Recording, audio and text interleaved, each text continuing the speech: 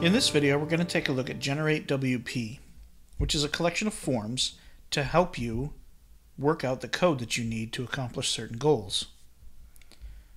First, we're going to click the Select a Tool. You simply select a tool, fill in the form, and generate the code. If we scroll down, here are the tools and generators. And you can see you can make a taxonomy generator, a post type generator, a post status generator, sidebars, menus, toolbars, all kinds of things. Let's click post type generator. And now you can see we have some code here. It's not set up for what we want it to be yet. So the first thing we're going to do is click General and put in our custom post type. So we'll put in BNB underscore rooms.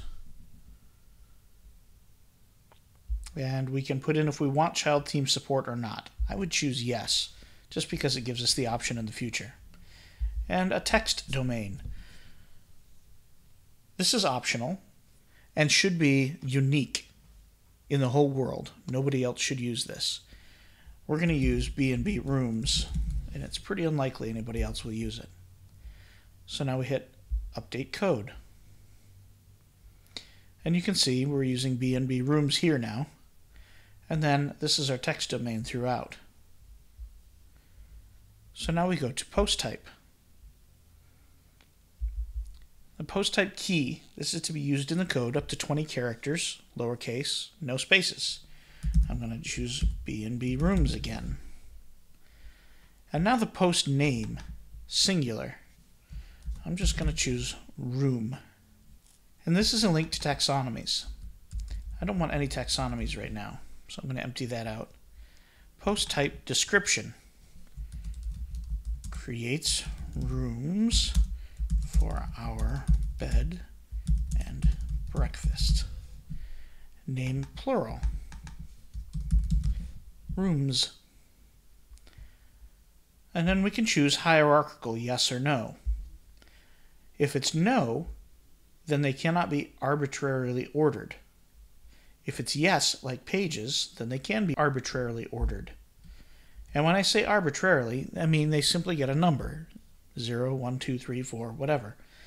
And there are plugins that let you reorder them with a drag and drop. And I like that. So now I'm going to hit update code again. And now you can see here we have rooms, room, etc. So now we go to labels. Menu name, rooms, admin bar name, room. And now over here where it says items, we basically want to change the word item to room. And these labels appear all over the admin UI. And now you can see down here, all rooms, add new room, etc., etc., etc. Now let's go to options. These are the things that posts can have, and we need to decide which of them we want. We want a title. We want the content, which is the main editor. I don't think we need an excerpt. We don't need an author. We do want a featured image so we can have a photo of this room. We don't need comments. Although we could have comments. Let's put in comments so that our bread and breakfast visitors can leave comments about the rooms. We don't need trackbacks. We always want revisions in case we make a mistake. We don't need custom fields here. We're going to use something else for that. We do want page attributes. That allows us to order them. And we don't need post formats. We don't want to be excluded from search. We do want them to be exportable. And we do want an archives page, which lists all of the rooms. So now let's hit update code.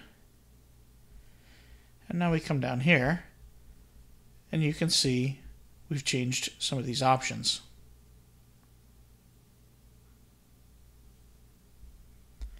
Now let's go to visibility. Do we want to show the post type in the admin UI? Yes, we do, because we're going to work with them. We do want the post type UI in the admin. Do we want to show in the admin sidebar? Yes. 5 is right below posts. And then we can choose an icon. If you leave it blank, we get the default tack symbol that WordPress uses. Or we can look up a dash icon name. And we can use any one of these.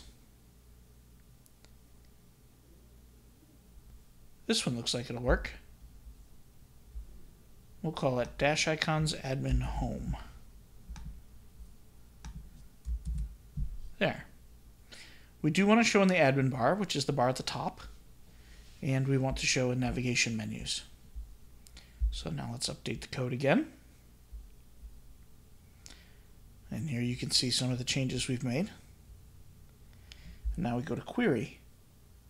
We don't really want to mess with this very much.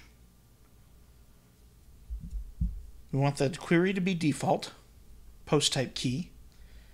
We do want it publicly queryable so that we could write code against it in the future if we wanted to. And we have the option for a custom query variable. And I'm not going to change any of that stuff. We're just going to leave that all the same, just the way it is. We're going to choose custom permalink and then we're going to edit the URL slug. So we're at bnb.dev slash, I'm going to choose room. And then use the URL slug, yes.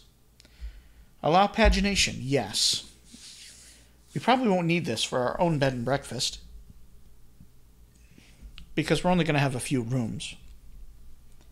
But if we were at a place that had 30 rooms or something, then you would want pagination. And then whether or not we want an RSS feed for this, I'm going to say no. Because this content isn't really going to change. So now let's hit update code. And we have some new stuff here with the rewrites. And then we go to capabilities. The base capabilities match these and the base capability type is pages. And that's going to work great for what we want. So now I hit update code. And now I have everything. This is all the code I need. You can click Save Snippet if you're a registered user, or you can simply copy and paste this code.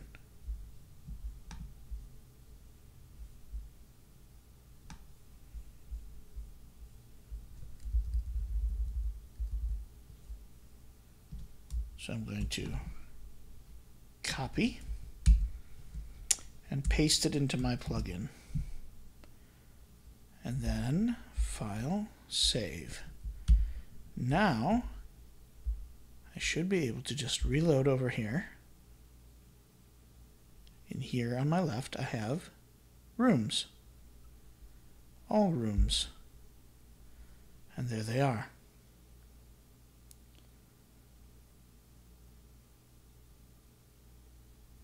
Now if I click Add New, I have a title, the content, my order, layout settings comes from my theme, but here's my featured image and discussion options.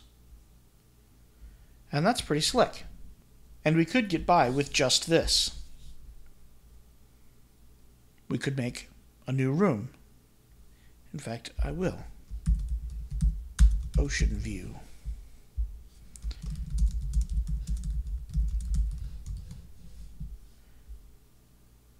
I will set a featured image of this cool ocean view and publish. And now, if I view post,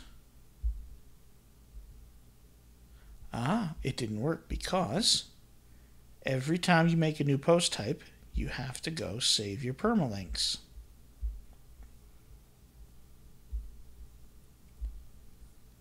There. So now I have bnb.dev slash room slash ocean view. And it even put my featured image at the top.